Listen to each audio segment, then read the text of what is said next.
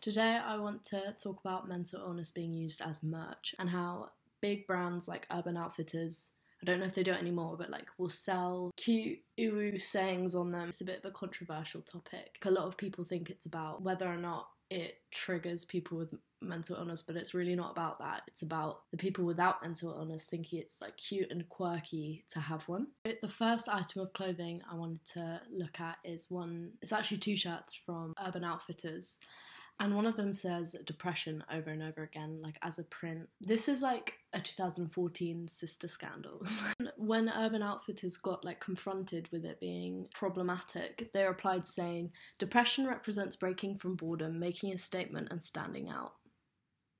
The one that says eat less, I remember that you know, like being on the news. Urban Outfitters like does not stray away from controversy. They did a concentration camp style top and then one that had a gun wound in it and the hoodie was like the name of the school. There's one that just says personality disorder like here and here. I just don't see why you'd want to wear that. So the next one is a mug and I remember seeing this quote like in 2010 probably like on facebook. I have an eating disorder.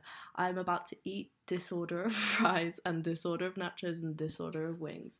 Um, there's many ty- different types of eating disorder like binge eating disorder painful. You would not find these kind of things on mugs like cancer or any other kind of diseases. Even if the mortality rate is the same, I have OCD, but I only clean things when I'm in the mood because I'm also bipolar. This is just a whole mess. People with OCD are always seen as like the clean people. People with bipolar, not all of it is about mood swings. Why is it so many psychiatric diseases have have so many stereotypes? So far we've generalized so many mental illnesses. You have to be skinny to have an eating disorder, you have to tidy up to have OCD. What's going on? It's 2019. I feel like these jokes not only are they damaging, they're just boring, like they're just getting old. So this next top, I did not think it was real. It says schizophrenia.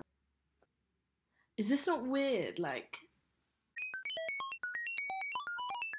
who had this idea? Looked at that and thought like, oh, okay, like we can pass that. Let's put this into our spring summer collection. Just the word schizophrenia. So we've got an anxiety Adidas logo. We've got anxiety with a little narwhal, an anxiety hair clip, and I think this one's a designer brand. And I liked some of the hair clips that said things other than anxiety. Marina and the Diamonds had one that said fuck sorry, and I like that one.